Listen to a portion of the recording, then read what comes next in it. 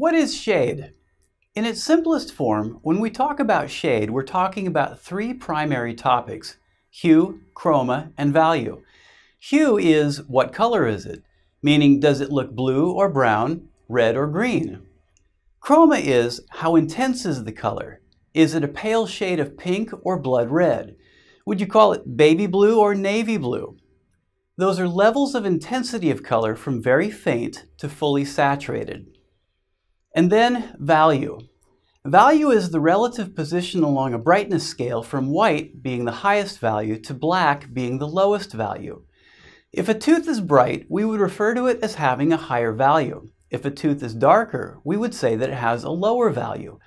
Often value is related to the general translucency of a tooth. The more translucent the tooth is, the grayer it will look or the lower the value. These things all relate to the shade guide and help you narrow down which tab is the closest approximation to what you see. From here, we move into secondary descriptions of a tooth, what we would call character.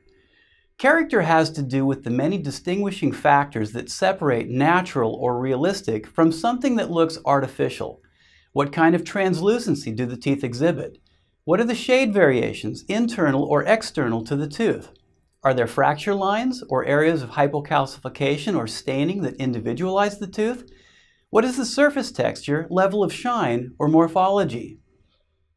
Given this secondary information in quality photography, written description, and even drawing a map greatly augments the lab's ability to produce something that looks the way it should.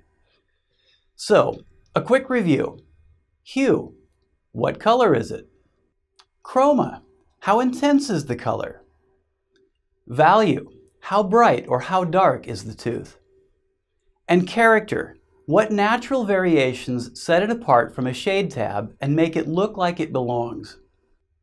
All of these things work together to create a lifelike restoration that flows and harmonizes with the patient's natural dentition. Careful and accurate communication of these qualities help ensure a restoration that is both functional and beautiful, and one that promotes and encourages a smiling patient. Thanks for watching. I'm Mitch for O'Brien Dental Lab.